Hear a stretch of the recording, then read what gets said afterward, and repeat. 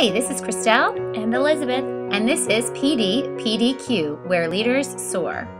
Today, we're going to show you how to connect with people using a tool called Twitter. Twitter creates Twitter feeds of short statements of 140 characters or less. Lake Myra is already connected via Twitter in a couple of different ways. If you go to the Lake Myra website and click on the Follow Us on Twitter button, it's going to pull up the Lake Myra Twitter feed, and that's what you see when Dr. Argent does his tweeting.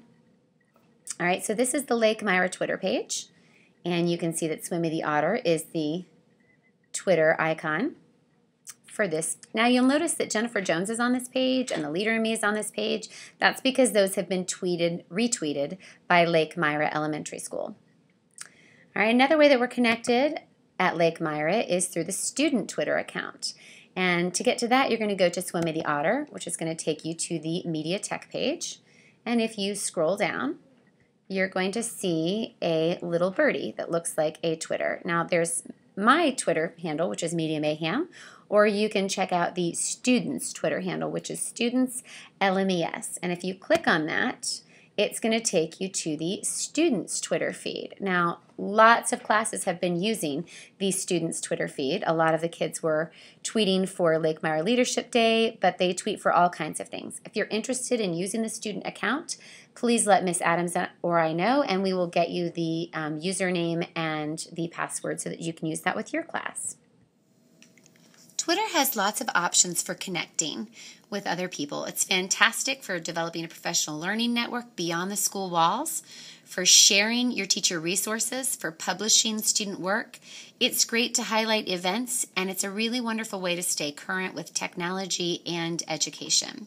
The best thing about Twitter is that it can be done from easily from mobile devices or from computers. Here are the action steps to start getting connected on Twitter. First, decide if you're going to build your professional learning network or you want to connect the students in your classroom with other classrooms or you want to do both. Keep in mind, each email account gets one Twitter account. Create an account, download the app, and sign in and get busy tweeting. Now, once you've created your account, whether it be for building your professional learning network or connecting your classroom students with other classrooms, the best way to get connected is go to Discover, and then you are going to see Popular Accounts. You're going to choose Popular Accounts. And here you're going to be able to search for topics you are interested in, or you can simply type in grade levels. For example, you could type in literacy, technology, or we can simply type in fourth grade and we will find other fourth grade teachers that tweet. We will also find other fourth grade classrooms that have classroom Twitter pages that you might want to start following. For example, one is here, and you would just simply click follow. Now, once you've found people to follow, we can start to retweet things.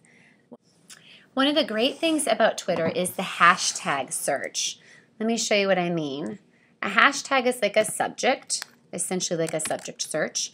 But I'm going to search a very specific hashtag, and I'm going to search LM Leadership Day and just see what everybody was tweeting during Leadership Day. It's always going to give you the top tweets, but I always like to click all to see what everybody was tweeting about it. And if you scroll down there, you're going to see all the stuff that the people who attended um, Leadership Day, and the teachers and the students were all tweeting about LM Leadership Day, which is just kind of cool.